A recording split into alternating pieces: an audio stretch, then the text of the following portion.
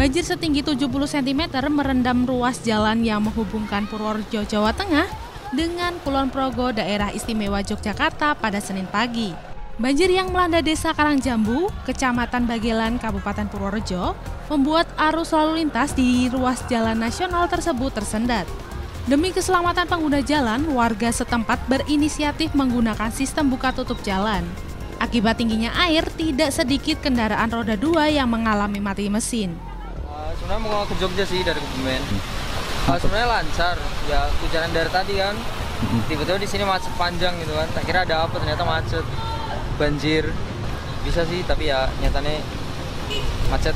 Mogok motorku. Macet? Mati sih. Karena banyaknya pengguna jalan, jalur utama ini pun sempat macet dan menguar hingga 1 km.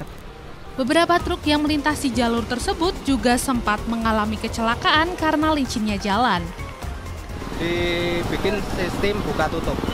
Karena bisa dilihat sendiri ketinggian air cukup lumayan dalam ya. Karena sepeda motor sendiri kalau emang itu nekat merabas uh, posisi mesin dinyalakan itu kendalanya nanti akan mogok Selain merendam jalan nasional, banjir juga mengenang di ruas jalan kabupaten seperti Jalan Sembir dari Pasar Kerendetan menuju Kecamatan Purwodadi setinggi 50 cm.